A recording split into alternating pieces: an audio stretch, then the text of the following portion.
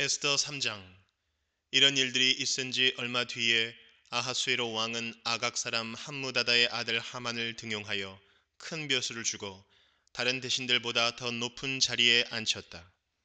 대궐문에서 근무하는 신하들은 하만이 드나들 때마다 모두 꿇어 엎드려 절을 하였다. 하만을 그렇게 대우하라는 왕의 명령이 있었기 때문이다. 그러나 모르드게는 무릎을 꿇지도 않고 절을 하지도 않았다. 모르드게가 그렇게 하니 대궐문에서 근무하는 왕의 신하들이 모르드게를 나무랐다. 어찌하여 왕의 명령을 지키지 않소?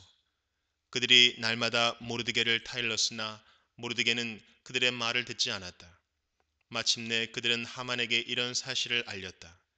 그들은 모르드게가 스스로 유다 사람이라고 말한 적이 있으므로 그의 그런 행동이 언제까지 용납될 수 있는지 두고 볼 셈이었다. 하만은 모르드게가 정말로 자기에게 무릎을 꿇지도 않고 자기에게 절도 하지 않는 것을 보고 화가 잔뜩 치밀어 올랐다. 더욱이 모르드게가 어느 민족인지를 알고서는 하만은 모르드게 한 사람만을 죽이는 것은 너무 가볍다고 생각하였다. 하만은 아하수에로가 다스리는 온 나라에서 모르드게와 같은 결의인 유다 사람들을 모두 없앨 방법을 찾았다. 아하수에로 왕 12년 첫째 달 니산월이다.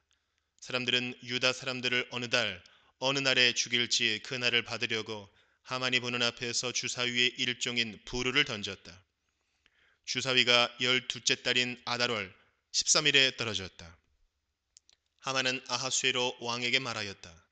임금님께서 다스리시는 왕국의 여러 지방에 널리 흩어져 사는 민족이 하나 있는데 그들은 자기들끼리만 모여서 삽니다. 그들의 법은 다른 어떤 백성들의 법과도 다릅니다. 더욱이 그들은 임금님의 법도 지키지 않습니다. 임금님께서 그들을 그냥 두시는 것은 유익하지 못한 일이라고 생각합니다. 임금님께서만 좋으시다면 그들을 모두 없애도록 조서를 내려주시기를 바랍니다. 그러면 저는 은화 만 달란트를 임금님의 금고 출납을 맡은 관리들에게 주어서 입금시키도록 하겠습니다. 그러자 왕은 자기 손가락에 끼고 있는 인장 반지를 빼서 아각 사람 함무다다의 아들인 유다 사람의 원수 하만에게 맡겼다. 왕이 하만에게 일렀다. 그 돈은 경의 것이요. 그 백성도 경에게 맡길 터이니 알아서 좋을 대로 하시오. 첫째 달 13일에 왕의 서기관들이 소집되었다. 그들은 하만이 불러주는 대로 각 지방의 글과 각 민족의 말로 조서를 만들어서 왕의 대신들과 각 지방의 총독들과 각 민족의 귀족들에게 보냈다. 조서는 아하수에로 왕의 이름으로 작성되었고 거기에 왕의 인장 반지로 도장을 찍었다.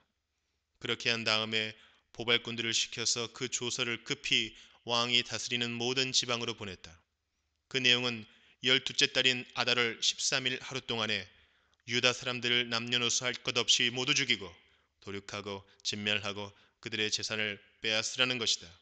각 지방에서는 그 조서를 법령으로 공포하여 각 민족에게 알리고 그날을 미리 준비하게 하였다.